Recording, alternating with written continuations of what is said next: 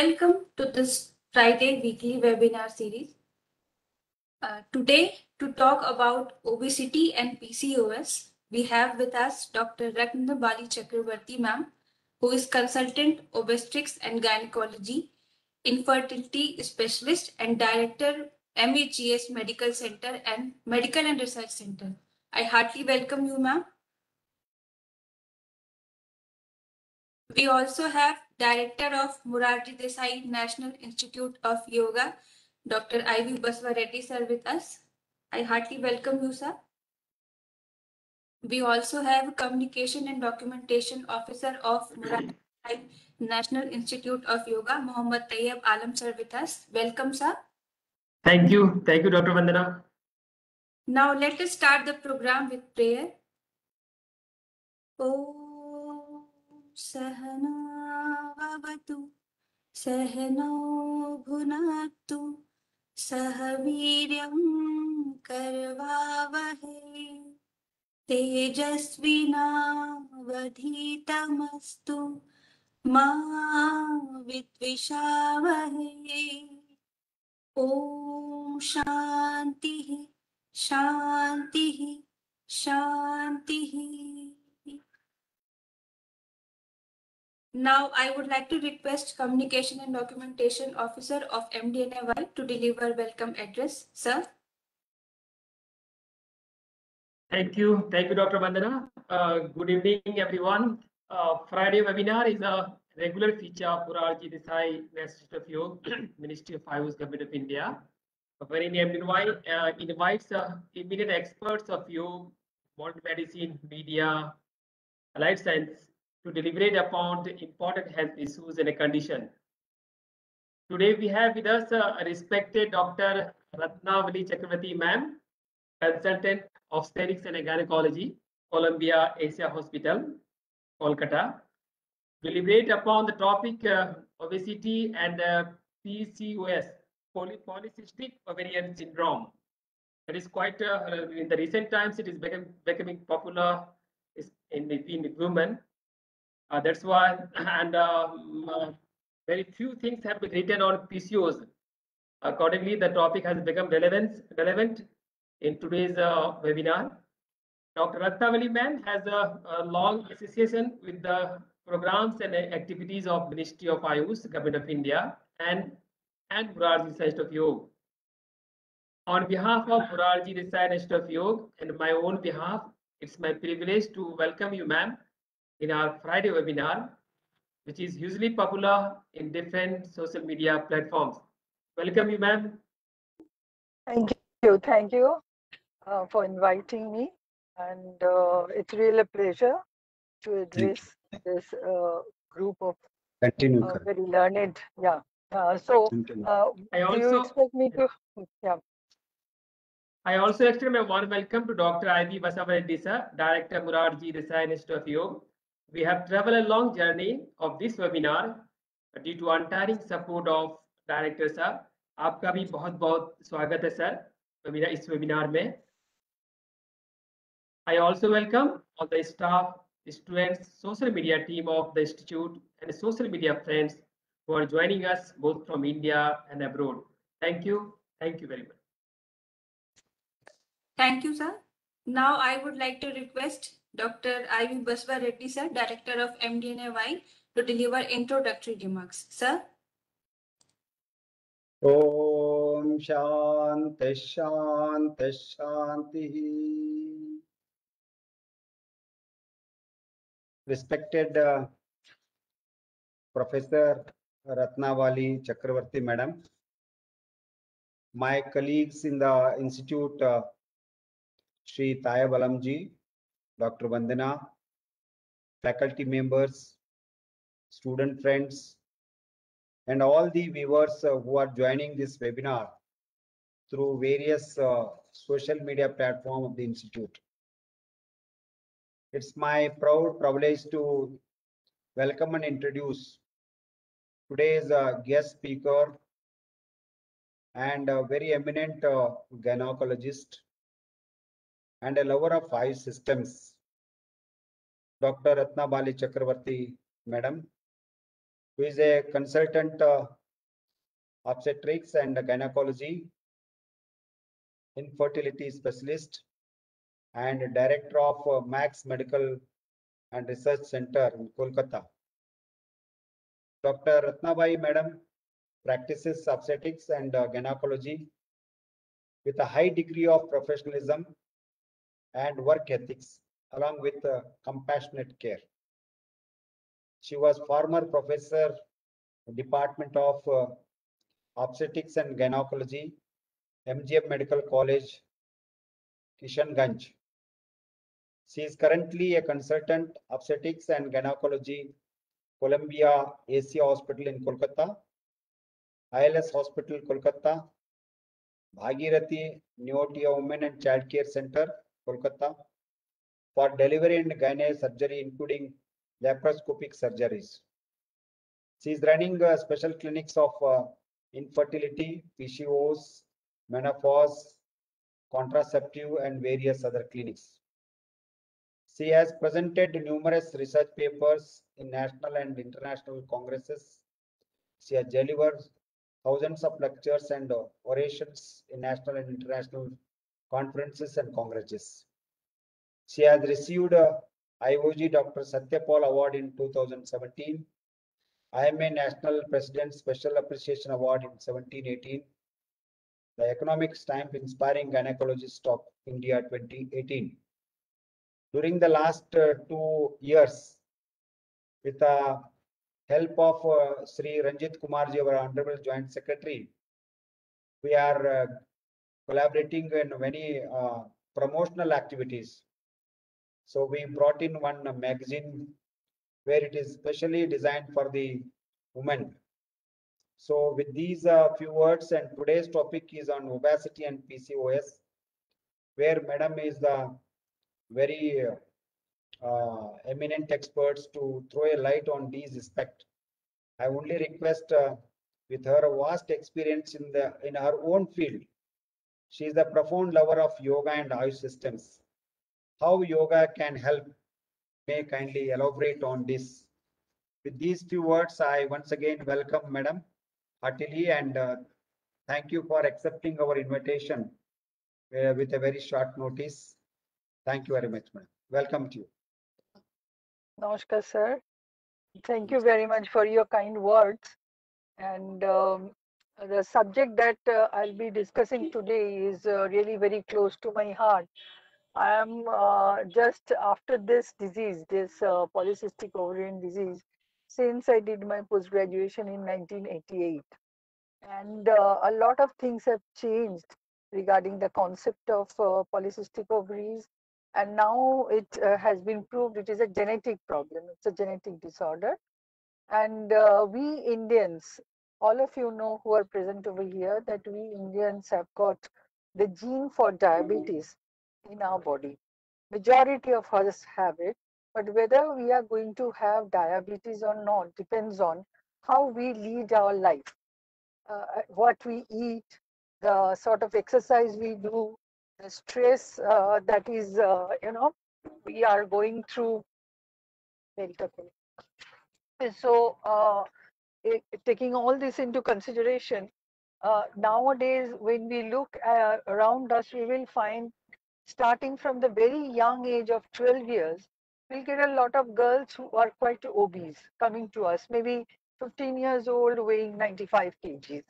And uh, they themselves are very upset about the fact that uh, they don't look nice they cannot play they cannot run and they are they feel always tired they are depressed and uh, these group of girls uh, they are being brought to us from with their, their mother take uh, bring them to us telling that they are gaining weight ma'am. We are taking all sorts of precautions not to give you know fried foods or mithai.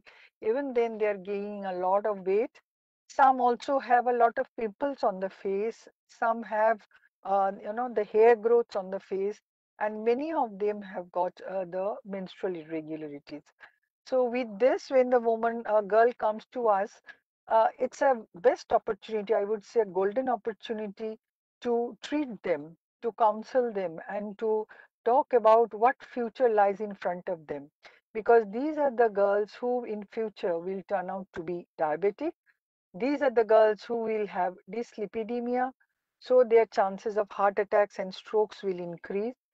And these are the girls, if left untreated, will have difficulty in bearing a child. And later on, after the age of 60, 65 years, the chances of cancer of the lining of the uterus, that is endometrial cancer, are much more in number in them than in a general population. So some very, um, you know, uh, sinister uh, is waiting for them, Mel, Meltakul, is waiting for them. Hmm? Full Gmail is up. So uh, what we uh, uh, have to do at this point of time, these girls, many of them, if they uh, change their lifestyle, they are in fact going to, uh, you know, have a much much better result than waiting and taking some medications for you know the irregular periods, and later on when they come to us, they are almost at the verge of diabetes while uh, I, I will uh, talk in details, now I'm just uh, giving you a you know, feel of it. These are the girls when uh, they left untreated, they're taking some other medication, uh, not knowing what is polycystic.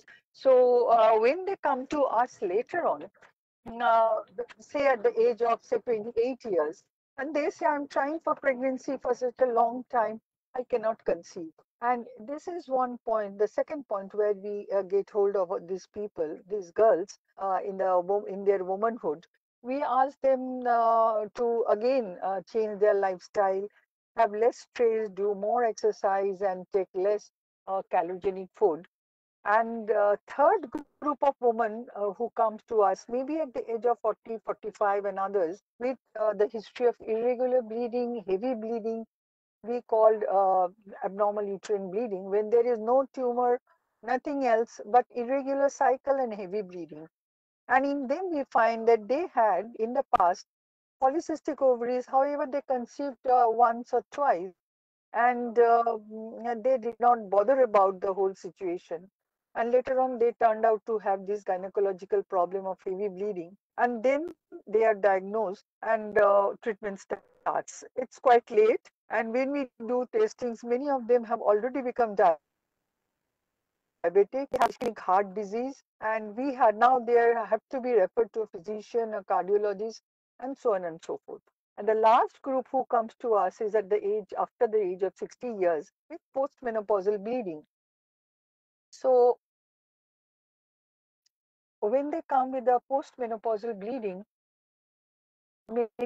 yes, oh, sorry, when they come with a postmenopausal bleeding at the age of 60, 65 years, we find their, their lining of the uterus, endometrium, which should be something around 5 or 4 millimeter, have grown up to 10, 12 millimeters and they have started bleeding. This is all due to the fact that they have this, uh, you know, altered uh, hormonal status in their body, which has caused this.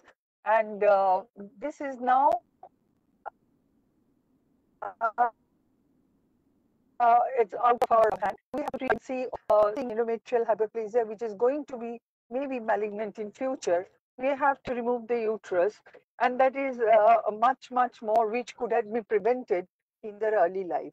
So the total knowledge of this uh, polycystic ovaries, uh, which is much uh, many times associated with obesity, should be with everyone, so that when uh, you also uh, are dealing with any of your relatives, your friends, and if you see a young girl who has got irregular bleedings, who is gaining weight, uh, having pimples. So these girls with pimples, they go to, uh, you know, the dermatologist, and sometimes the dermatologist refers her back to us, gynecologists. Some are wise enough to come to us. Some say, no, I, my daughter doesn't have any uh, problem gynecological problem. At this age, why should we go to a gynecologist? Uh, why should I take her to a gynecologist? She only has some pimples. Uh, maybe she has got only some hair growth. For this, uh, we are not going. So they are losing time and they're missing the bus. So this, uh, uh, if all of us, as this is now should be a uh, not only the doctor's you know purview, but it everybody should know about what is polycystic ovary and how it is causing a havoc problem in our society, especially India. throughout the world it is happening for quite a uh, good amount of time. But abroad we find that children, they have compulsory sports classes, they have to do games, exercise, and at the weekends they go for hiking. They have swimming pools and tennis courts everywhere, basketball courts. But in India that is lacking. Our girls especially do not have enough facility to do sports and uh, you know exercise. And in our education system they have to do a lot of homeworks. They have to go to tuitions. They have to uh, at the present moment sit in front of the television uh, sorry computers and they do not do any sort of exercise. And uh, the type of food that has completely changed in the indian scenario. So we are having much more carbohydrate and fat rather than having proteins. And in this uh, situation, when we are having this, they are gaining, uh, you know, have with this calorigenic food and no uh, exercise, they are gaining weight like anything. And uh, excess weight giving rise to this uh, hormonal imbalance. And ultimately, they we are landing up with the problems of polycystic ovaries or uh, in future diabetes. So taking all this into consideration today, we will have a brief, um, I'll have a brief presentation in front of you uh, so that you can get a, you know, uh, say, and a feeling of what I'm actually trying to tell you that starting from the menstrual irregularity or obesity, how can we reach to a diagnosis of uh, polycystic ovaries, with what actually we can do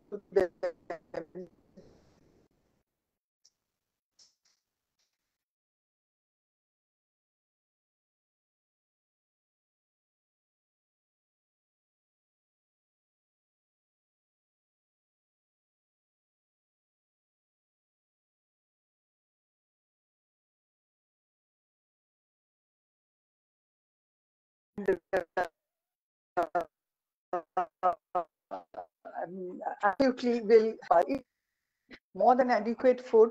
And after uh, having so many famines and others, when uh, we are used to, we are used to have less of a food.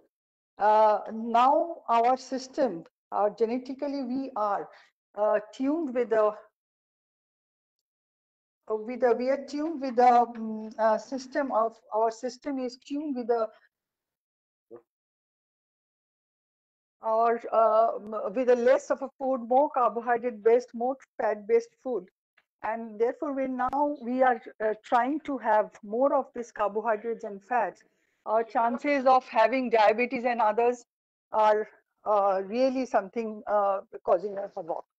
So taking all this into consideration, what uh, uh, we will have to do at the moment is as soon as possible, whenever we find a, a girl with polycystic ovaries, we should refer them to uh, you know, a gynecologist, a physician, whoever available, and uh, yoga, exercise.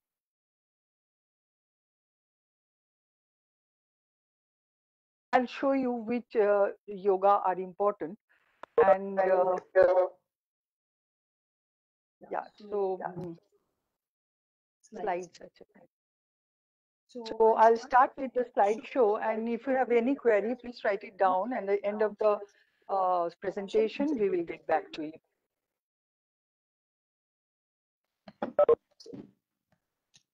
slide. Slideshow.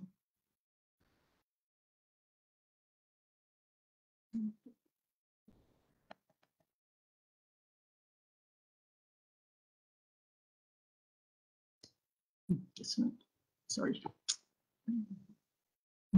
Yeah, this one, this one. Slideshow. okay.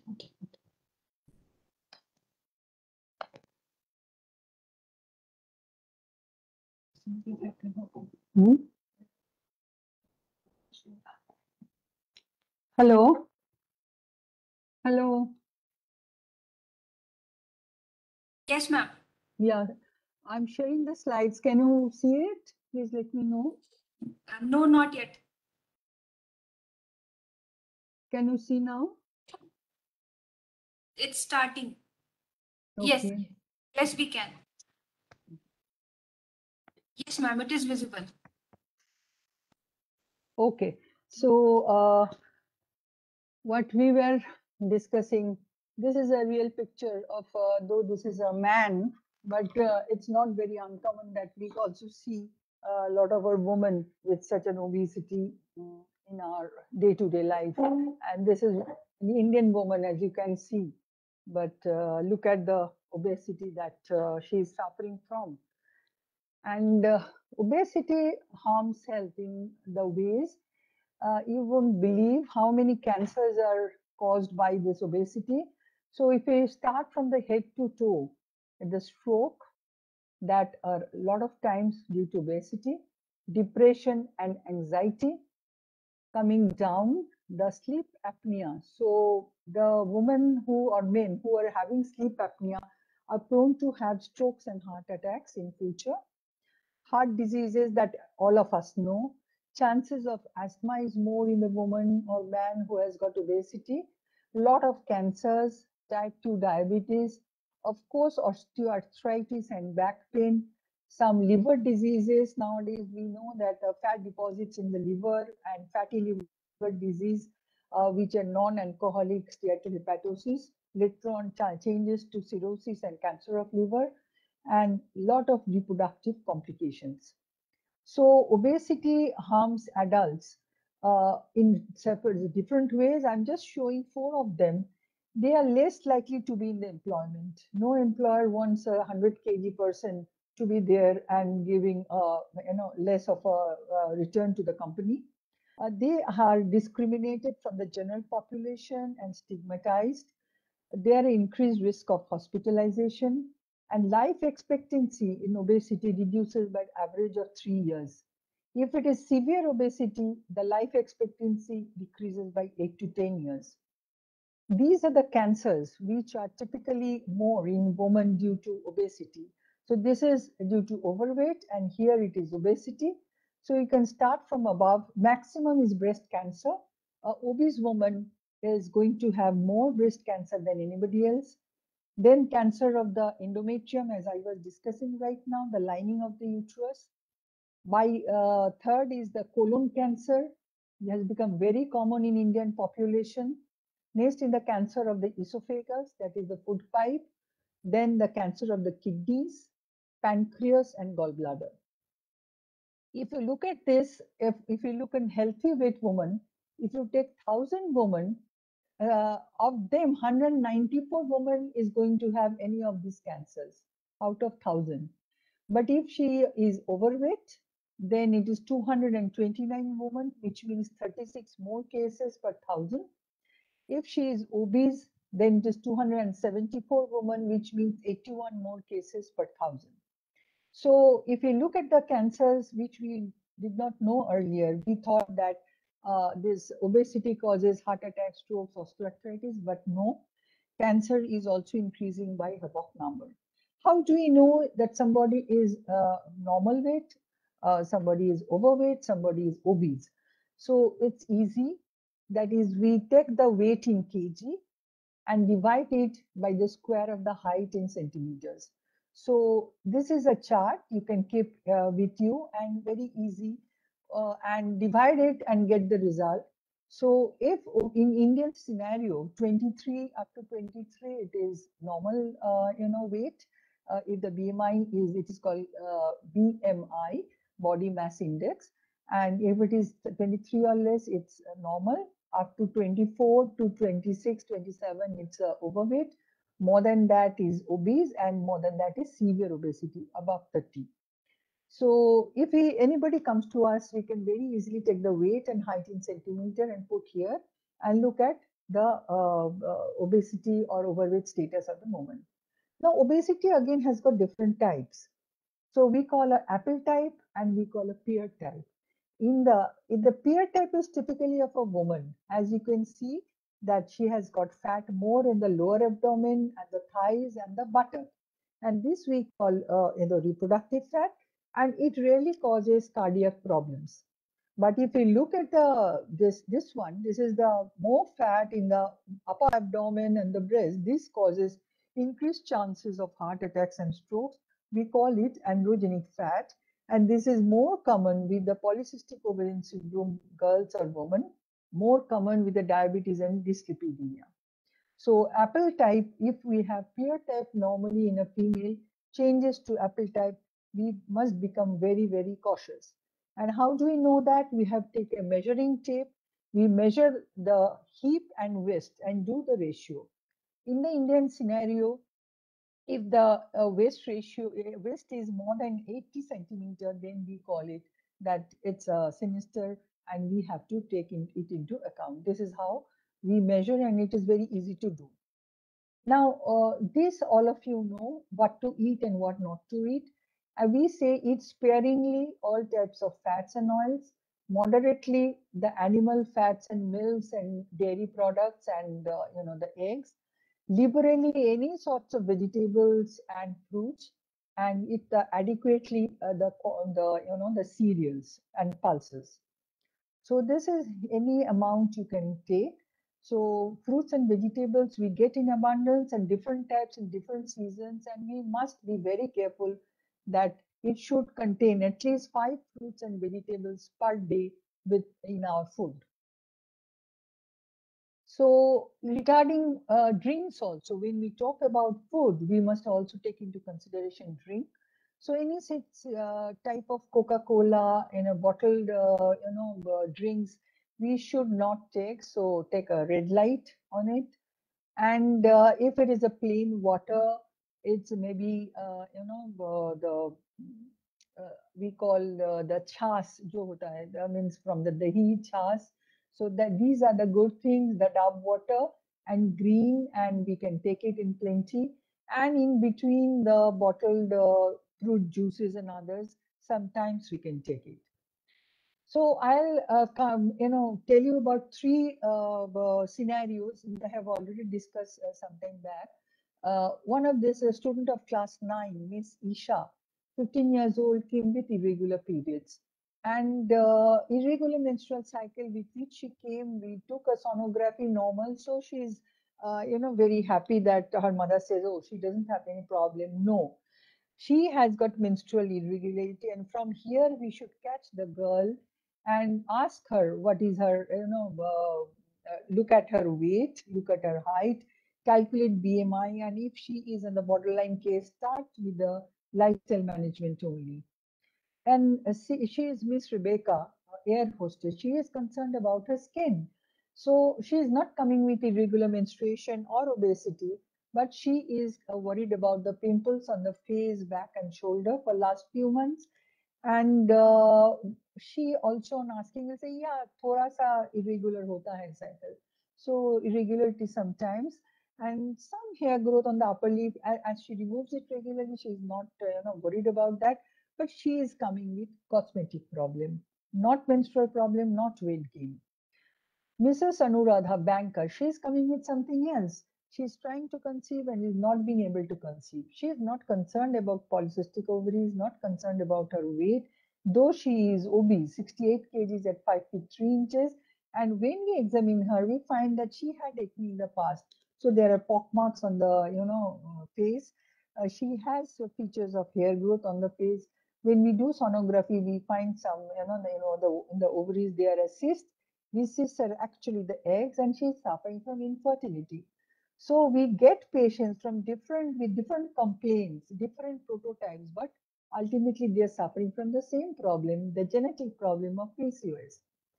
Mrs. Sumita, housemaker, 63 years old, and she has got a child 33 years old complaining of breathing problem chest pain and cardiac angiography her blood sugar is high. And cardiac angiography shows ischemia due to block of the cardiac vessel. She needs angioplasty. So she is suffering from cardiovascular disease. And all these are due to polycystic ovarian syndrome which is the most common hormonal disorder among the women. And as i discussed this is genetic in origin. How many genes are involved? We don't know whether polygenic or single gene. And 7 million women suffer from polycystic ovarian syndrome in India today. So we are in, uh, we are thinking about the pandemic, corona pandemic, but this is a pandemic for quite a long period of time. And this is how a normal ovary looks. This is a fallopian tube and this is the ovary. Every month, 30 to 40 eggs starts growing. One of them wins the race and it ovulates, means it comes out of the ovary, enters the tubes and in, and it can get fertilized with the sperm if it, that happens. But when all of these 30 and 40 eggs starts growing and none of them are, you know, getting matured and coming out and uh, ovulation is happening, all of them will look like uh, this. So all the eggs are growing up to certain stage and then they are stunted in growth, looking like small, small balloons in the ovaries in Latin language. That Latin language we use to describe uh, in the medical science, allopathic medical science. So mm, the balloons in Latin is called cyst and so many balloons. So we call polycystic ovary. Actually, they contain the eggs, nothing else. So there is no scope of surgery over here. The treatment is only and only number one, lifestyle management, and number two, sometimes some medicines. So uh, as I've discussed, uh, here the egg is not coming out regularly. So the periods become irregular and difficult to conceive. What is the cause? As I've discussed, it is genetic in origin, but these genes cause a sort of a insulin resistance. So from the pancreas, the insulin hormone comes out and the work of the insulin is to burn glucose to give us energy that I am talking now. The energy comes from burning of glucose by the insulin hormone. Now, if our body is not responding to the normal insulin hormone that is circulating in our body, then glucose level goes up and more insulin comes up more glucose level, more insulin comes up, and this insulin goes and covers the ovaries so that the eggs which matures cannot come out of the ovary. So this increased level of insulin, we call hyperinsulinemia, that acts on the ovaries and gives rise to a lot of hormones which is coming out, not only female hormones, but a lot of male hormones, we call them androgens. So this insulin resistance, as you can see over here in a, on a cell, there are receptors where when insulin is attaching to the receptor, it gives rise to certain reactions. But in these women, due to genetic problem, these receptors are not recognizing the insulin. So insulin level is not at all, you know, giving any uh, news to the glucose. The glucose are not burning. So more and more insulin are coming out.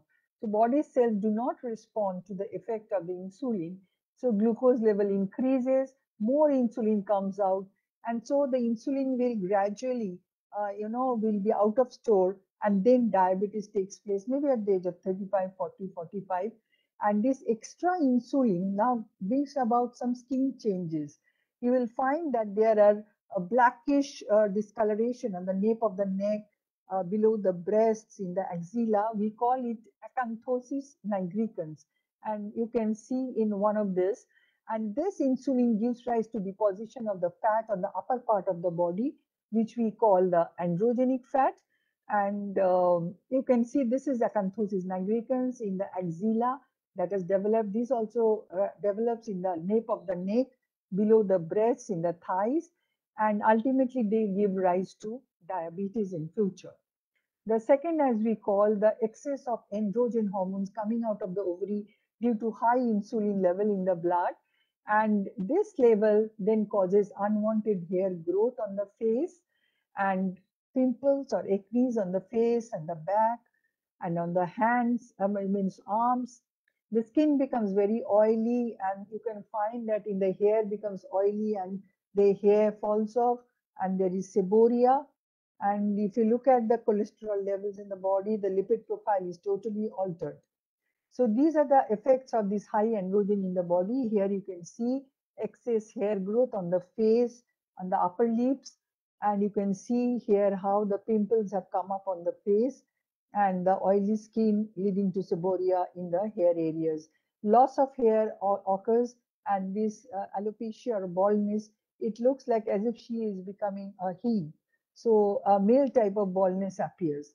And this high androgen level also causes the high androgen and high insulin together changes in the lipid profile and changes in the blood vessels of the heart. So that chances of heart attacks and strokes increases. Next, we discussed about that the eggs are not coming out, so the irregularity in the period starts, cannot conceive because eggs are not at all coming out of the ovaries, infertility, and in later life, as I discussed, the thickening of the lining of the uterus because as eggs are not coming out, therefore only one estrogen hormone is acting on the uterus. The second hormone, progesterone, is not at all there and ultimately can lead to cancer of the lining of the uterus. So this is the uterus, is a normal lining and estrogen hormone acting on here. The secondly, progesterone hormone acts over there. But in uh, polycystic ovaries, there is no progesterone hormone. So only estrogen hormone can cause thickening of this lining, excessive bleeding at long intervals, and later on in life, the cancer of the lining of the uterus. Infertility, we already discussed. And later on, when these girls come to us, they suffer from high blood pressure, high lipid cholesterol changes taking place in the blood vessels, coronary arteries, as you can see. And during pregnancy, there are also a lot of complications. There is increased risk of miscarriage due to high insulin level in the body. Later on, they can develop diabetes during pregnancy. The delivery many a times becomes preterm and more chances of cesarean section happens in these pregnancies. So what to do? The last part of my lecture is tip of the healthy diet. We have already discussed fruits and veggies more, pulses, uh, you know, uh, in moderation and frequent small meals. If you take a large amount of meal, large amount of insulin will come out and that will cause, uh, you know, these receptors on the ovaries to get blocked. So if you take small amount of meals, more of a protein meal and fruits and veggies, small amount of insulin will come out and the changes will be reversed. If we take uh, the fishes, the fats from the oily fishes are good for our health and fat from the nuts are also good. If we take milk, better to take the skim milk. We should avoid the red meats, excess salt because we are going, they are going to have increased chances of hypertension and heart attacks.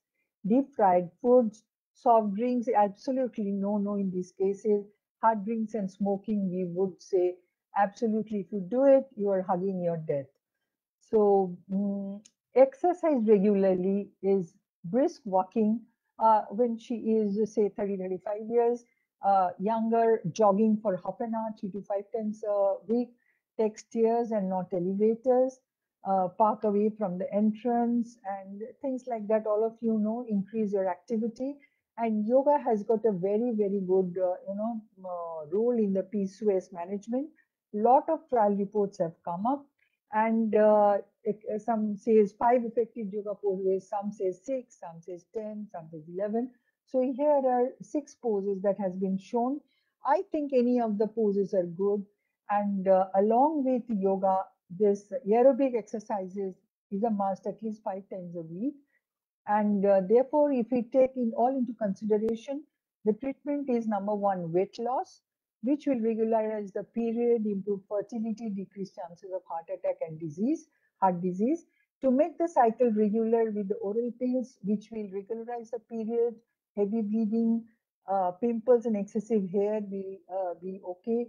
And the chances of, you know, the lining of the uterus becoming cancerous in later life will not be there. We take insulin sensitizing agents like metformin that will uh, decrease the obesity, and the male hormone in the body regularizes the period and decreases the chances of diabetes in future. If, if she is coming for you know fertility, we have to give ovulation inducing drugs and coming for the hair growth on the face, we give some direct anti-androgen medications. For the increased risk of diabetes and heart disease, we should continue with the therapy. We should not discontinue in between. And benefits of the treatment, as we discussed earlier, not only it will regularize the cycle, reduce pimple and hair growth, it will control the blood sugar, decrease the chances of type 2 diabetes, increase the chances of pregnancy, and later on will prevent heart disease and endometrial cancer. So these are the uh, you know asanas we tell them to do regularly along with others. And all of you know better than me, Kapalbhati, Dhanurasana, because the circulation in the lower part of the pelvis increases in this Yoni Muktasana, so that sitting in this posture, concentrating and releasing the stress is very important. The bridge pose, Halasana, And these, all of these uh, should be along with the diet, along with exercises and meditation, will take care of the PCOS and will prevent the increased chances of diabetes, its complications, heart attacks, and endometrial cancers in future Indian women. Thank you for all for giving me this opportunity to talk on this very dear subject of mine. And uh, any question, I'll be very happy to answer. Thank you very much. Ma'am, there is a question. Thank How- you, madam. Thank you. Thank you. Thank you. It's great. Very good, madam. Thank you. Yeah. Yeah. Uh, uh, question. Would you like to show me the question?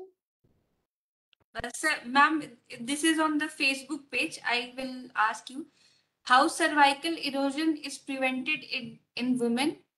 And please tell about HPV vaccination.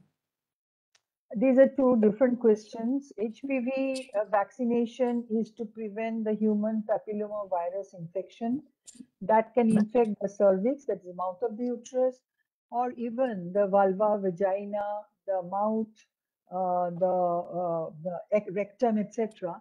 And when we uh, give this vaccination, starting from the age of nine years, three uh, doses, as early as we can give, the better the result then we can prevent HPV vaccination because some of this uh, HPV infection, because some of these girls will in later life develop cancer of the cervix, which was number one cancer death in Indian women. Gradually it has changed. Now breast cancer is number one. And cervical erosion is something else. Cervical erosion is covering of the mouth of the cervix is by uh, uh, epithelium, which we call uh, squamous epithelium. If it is changes and becomes covered with columnar epithelium, it looks like as if it is covered with a red velvet. Sometimes in bleeds, not always it is due to any infection or any cancerous changes. Many a times it is physiological. That is in the young age. That is uh, just after you know delivery, during breastfeeding, during pregnancy. So we have to find out what is the cause of this erosion, and uh, eh, many times it is physiological. However, regularly, you know, checking the cervix by doing cervical pap smear testing is good enough. So two things, one is regular pap smear testing and second is HPV vaccination. That prevents the cervical cancer and uh, that is what is our goal. So cervical erosion per se is not going to cause a big, big uh, difference in the life or going to cause cancer. Okay, ma'am. I would like to request uh, Director Sir for his concluding remarks. Thank you, madam. It's very enlightening. Uh, I enjoyed it. And it is very useful for my students, especially the faculty. They have been benefited. Uh, hope so We'll uh, bring up some uh, small monograph and we'll vet it and publish it small four, five page article in our uh, uh, peer reviewed journal. Thank you, madam. Thank you, sir. Thank you for your Thank kind words. Thank- And thank uh, it's the only motive of talking is that uh, more and more people should know about it. And it's Yeah. a ghar ka problem. So in every Yes. household, you will find one or two girls and women suffering from it. And if you can help them, we are helping actually the health system of India. Thank you. Thank you. Thank you. On behalf of Morarji Desai National Institute of Yoga and all our viewers, I would like to express my deepest gratitude to Dr. Ratnabali Chakravorty ma'am for accepting our invitation and enlightening us about the obesity and PCOS. Thank you so much, ma'am. Thank you. Thank you, Dr. Vandana. Thank you so much.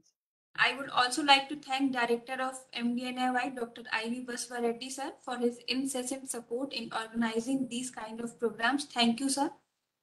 And I would also like to thank CMDO of MDNIY, Mohammad Tayyab Alam sir, and our technical team for their help and support, and all our viewers for joining us today. Thank you, thank you so much. And now uh, we will end this program with Shanti Path. सर्वे भवन्तु सुखिनः Sarve Santu. निरामया। सर्वे भद्राणि पश्यन्तु मा कश्चित् दुःखभाग् भवेत् मा कश्चित् दुःखभाग् भवेत् ॐ शान्तिः शान्तिः शान्तिः। Thank you so much ma'am Thank you, madam. Thank Thank you. you very thank you. Yeah.